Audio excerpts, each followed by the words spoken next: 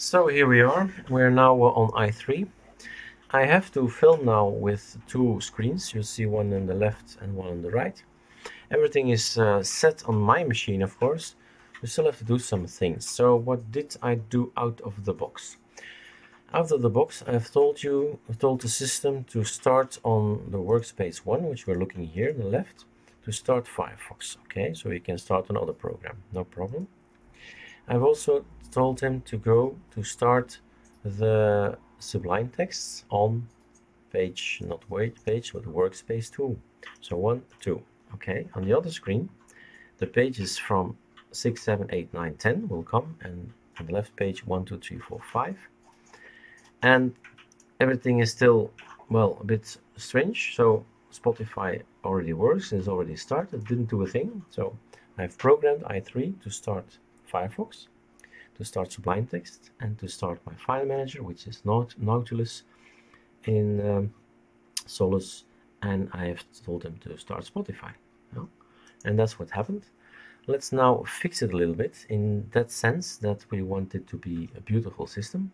So this is not an icon set I like. It's an it's another kind of desktop so it gets its information somewhere else. So what we're gonna do is uh, by the way I'm gonna press Windows 4 the wallpapers worked.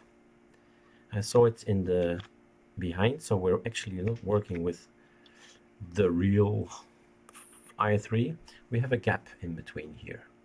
So gaps between um, mirrors is fun because then you can see besides the borders and you see the wallpaper change and then you go quickly to Windows 4 for instance. Or yeah just Windows touch or super key uh, 4 and that is our wallpaper. You go to the variety little icon on the right. I scroll over it and there you go. That's my next one. That's my next one. And the nice thing is when you press Windows enter then you have a terminal but the terminal is not yet transparent. So let's fix a lot of stuff now. So to how to make this beautiful. Since this is yeah it is, is a new computer. The settings have been applied but you still have to do some stuff. So let's go ahead. Windows d. And you get on the right uh, screen at the top you get menus. We did install lxappearance we're gonna say sorry but relay is not our icon theme. We want to have uh, not not icon but not our theme. We have made arc dark and arc dark evo pop arc dark orange these things are on the Solus uh, Ultimate Solus GitHub. Uh, so why not, uh, I don't know, Arc Dark, Evopop, whatever. You choose something, but something nicer than this, which was Relay, I think. Color, you can't change anything, so you move on. Icon theme, I do have a Surfn Evopop, so the same bluish uh, colors will apply to the folders later on. And then the mouse cursor is already nice. I love my breeze snow. Font can be changed not really and that's it. Apply. Close. Closing any program any application you do that with Windows Shift Q. You hover with your mouse over something Windows Shift Q. It's gone.